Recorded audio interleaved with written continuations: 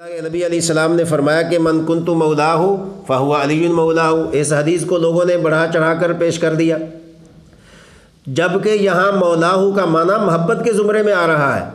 और ये भी मालूम होना चाहिए कि अरबी लगत में एक लफ्ज़ का एक तर्जमा नहीं होता। एक लफ्ज़ के कई की तर्जमे होते हैं।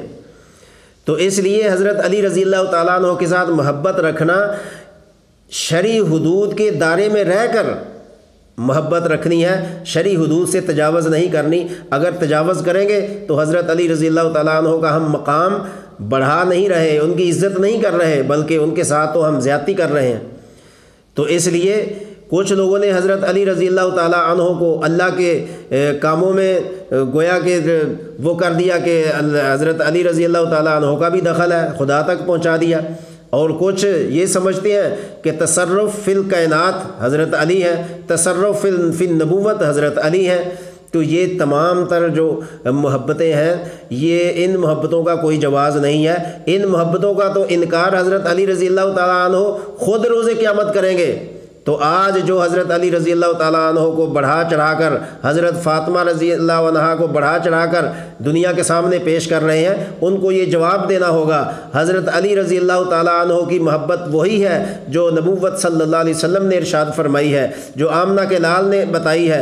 उसी दायरे में रहकर अगर हज़रत अली से मोहब्बत होगी तो ही हमारी हम मोहब्बत काबिल कबूल है, वरना वो मोहब्बत काबिल कबूल नहीं होगी। उस मोहब्बत का तो हज़रत अली भी इनकार करेंगे। हज़रत अली भी उन लोगों पर गोया के उन लोगों से जुदा होने का इकरार करेंगे कि इन्होंने मेरे साथ वो मोहब्बत की, जिस मोहब्बत का किसी चीज़ में ज़िक्र नहीं था। तो आज जो लोग अंधी मोहब्बत करने के चक्कर में हैं, लोगों को गुमराह कर रहे हैं, लोगों के फ़िरके में रखने डाल रहे हैं, उनको ये गौर करना चाहिए कि हम जो मोहब्बत कर रहे हैं, इस मोहब्बत को हज़रत अली रज़ी अल्लाह तहों की शान के मुताबिक उनसे मोहब्बत करें।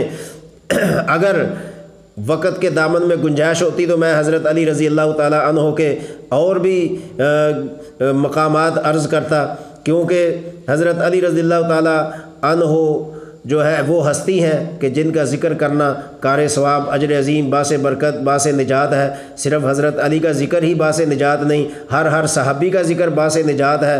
हर हर गोया के सहाबिया का ज़िक्र बास निजात है। हर हर नबी का ज़िक्र बास निजात है। और आगे चलें तो हर हर वली का ज़िक्र भी बास निजात है।